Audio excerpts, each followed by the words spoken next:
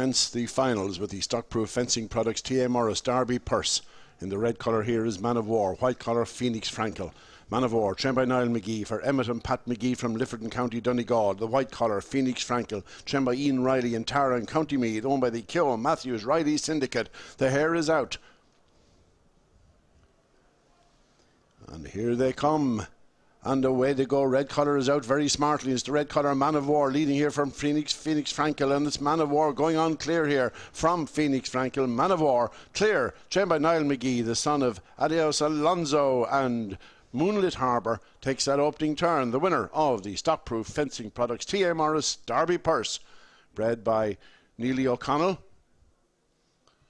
owned by Emmett and Pat McGee from Lifford and trained by Niall McGee. So a very decisive performance there from Man of and War. the red collar, Man of War, is the winner of the Stockproof Fencing Products TMR's Derby Purse. Great joy, always collecting.